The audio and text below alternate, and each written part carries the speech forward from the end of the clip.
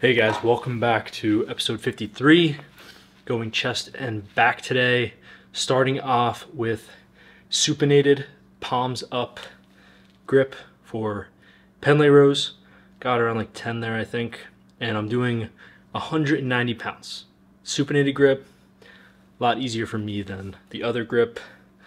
I'm able to hold on to the bar a little longer, and uh, I can't wait to get my wrist wraps on Sunday? Yeah, Sunday. Because then I'll be able to go to two plates on this workout and, you know, it'll just be great. Be really good. But after this, doing dumbbell incline, you know the drill, dumbbell incline. Um, after that, gonna do pull-ups. Start off weighted and then go to body weight. See uh, how good that feels. Haven't done those in a while. After that, doing flat barbell bench press and then after that, going to finish back with behind the neck lat pull downs and gonna finish chest with weighted dips, of course. And that'll probably be the workout. If I do this quick, I'll do a set of pullovers and uh, yeah, let's get right into it.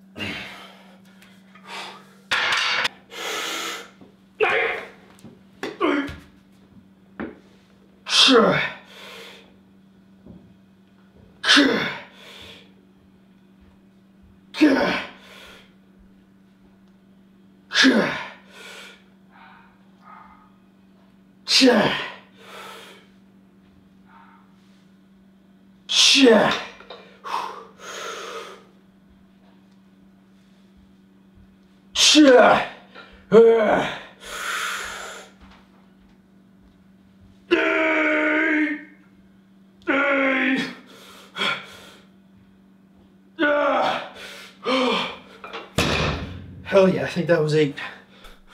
All right, so I kind of expected to have that PR today. I'm um, not really surprised by it. What I want to do now is get seven, maybe eight on this second set. And if I can get seven or more, or eight, that'll be it for dumbbell incline today, because I did three sets last time with 95, I think, the whole time. I didn't drop the third set at all. So, yeah, but that's if I get seven, maybe eight again. I'm feeling good about this. I might might even get eight again. Might be pretty good.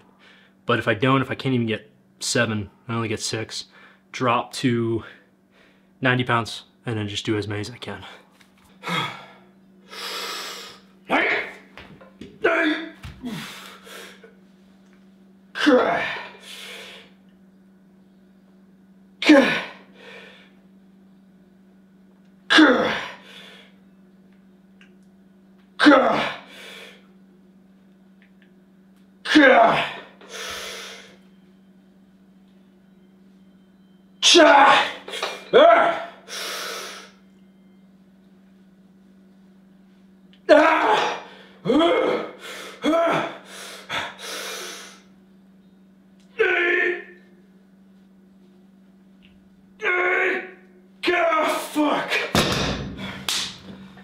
Almost had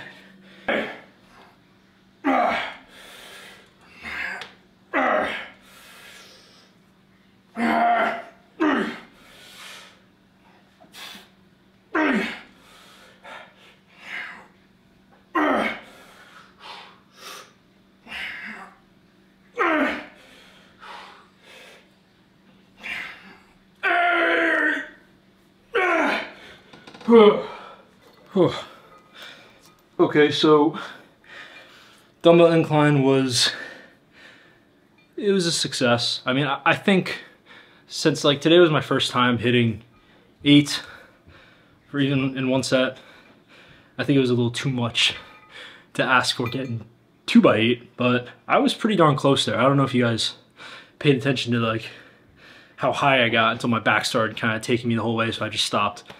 But very close. And uh, yeah, big PR today. Decided to finish after two sets. And now I'm going weighted dips with 35 pound plate, which my body weight's like 196 right now, I would say. Um, what is that? 231 pounds, 230, 231 pounds. And I just got seven there. And uh, yeah, I'm gonna do the same weight again. And then I'll probably drop because I don't think I'll be able to get over six after that.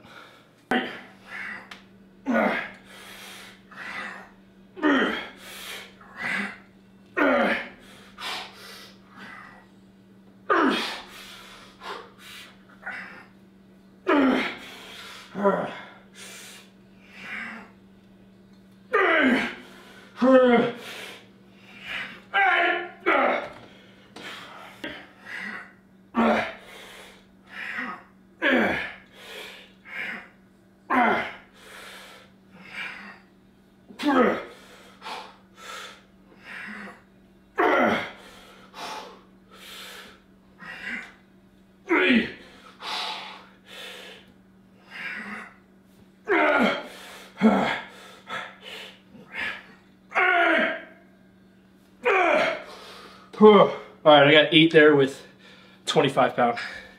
All right, going body weight for the fourth and final set. I gotta see how many I can get here. Oh,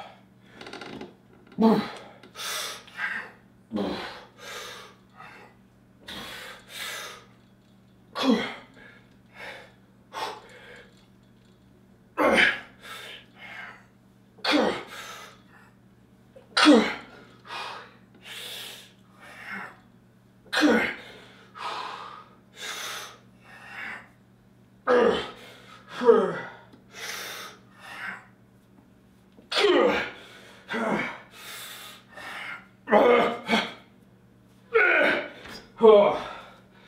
don't know, I lost count.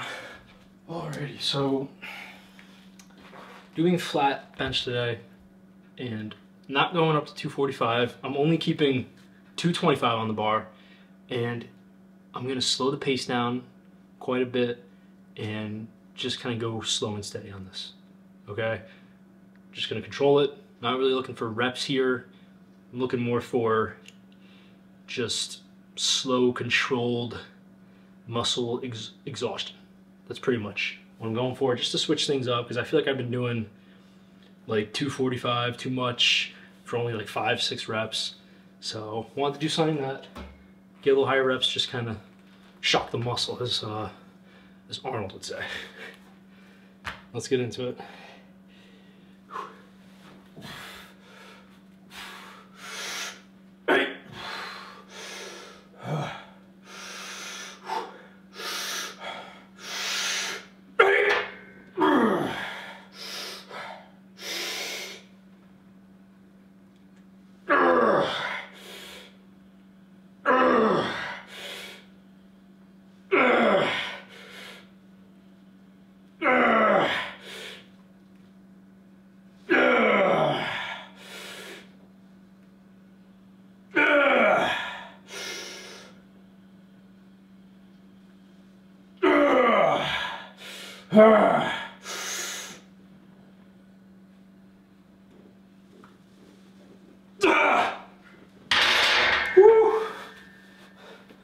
Close one. Thank God for safeties. Yeah, failed eight there, which is funny because if I went at my normal pace, probably would have got like 10 reps there. So it's very, very uh, beneficial sometimes to slow your pace down.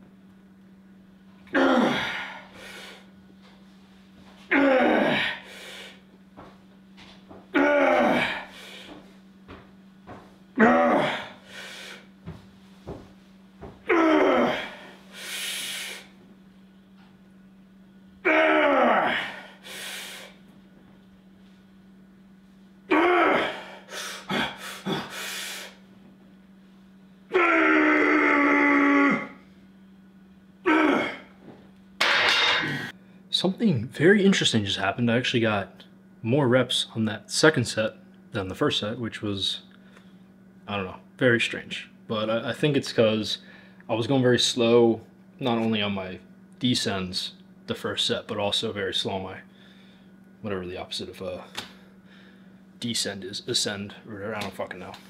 Positive, negative, that's what people call it sometimes. But um, second set was going a little quicker. You guys probably saw trying to be very explosive on the way up. Um, but yeah, that's probably why I got an extra rep. But doing behind the neck lat pull down here, and today today's a very lat dominant back workout. If you couldn't already tell, had the pull ups in there. Now have this, and the goal behind this right now, doing this be doing this after pull ups, uh, is just to get more of a range of motion just using my lats. Pull ups, especially when you're in weighted and stuff, shoulders sometimes take over, and even traps take over a little bit. So just trying to isolate it a little more.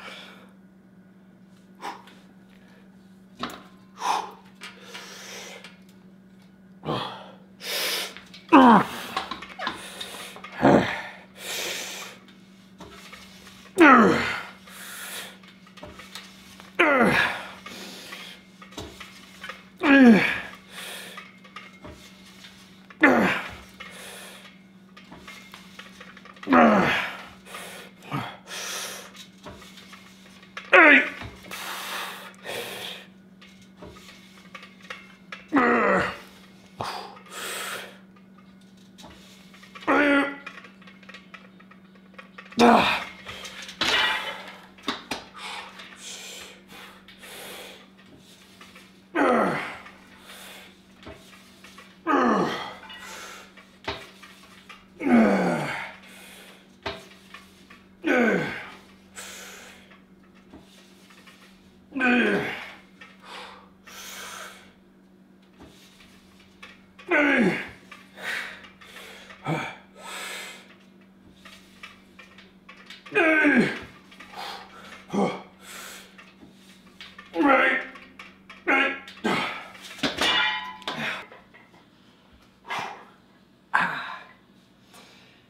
That fucking that 45 plate just whacked me in the ankle.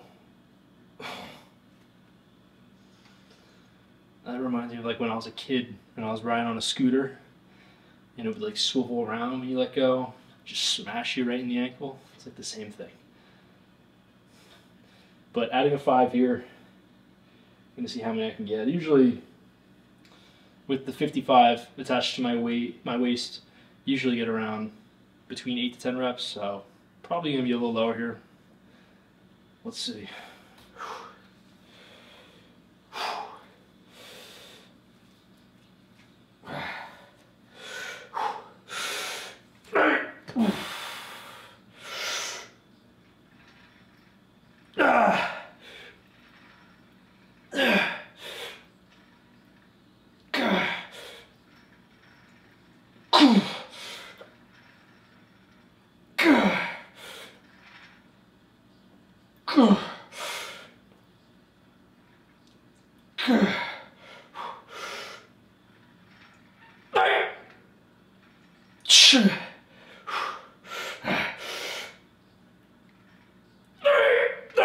Fuck. All right, so I got eight.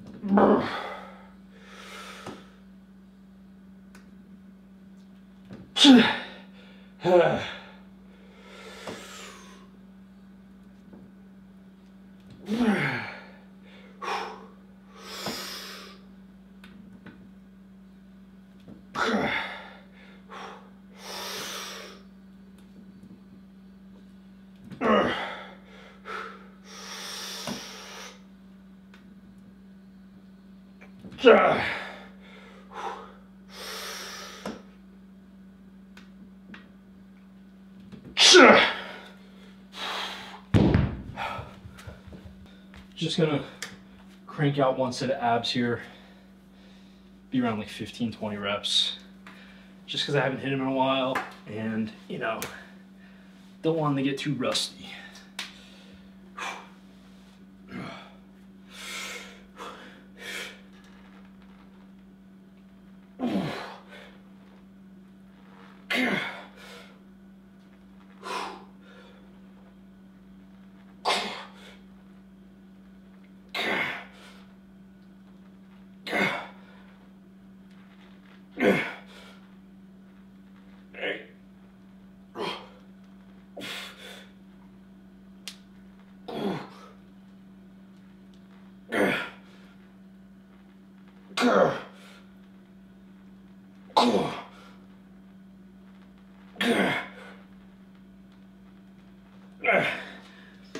Fifteen it is. Alrighty. Ready to get some posing in. Take this fucking tank top off. Hit abs. Can still see them. Not bad at all. It's amazing to see the difference when you put on some, you know, some fat when you're like lean bulking or whatever, compared to when you're super lean. It's insane because you, the definition that I have right here when I'm like really, really lean between 10 and 12 percent body fat, is nuts. And now it's like you can barely see it, and this is this is pretty good lighting. So let's get some back first.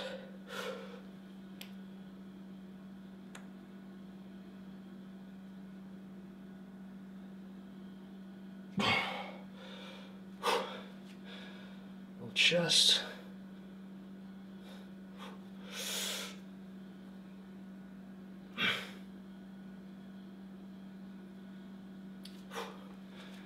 Let's go, uh, whatever this pose is called.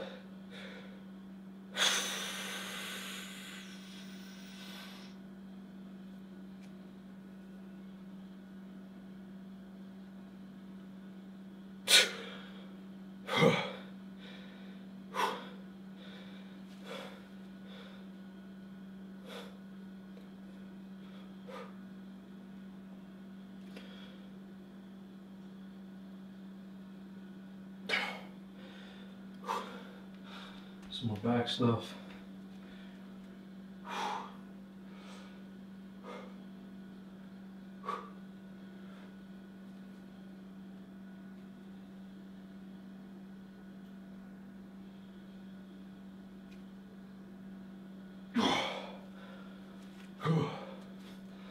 That was a pretty good workout. Hit a few PRs. Not bad at all. Pretty happy with it. But yeah, I guess that's it, guys. I will see you tomorrow for shoulders and arms.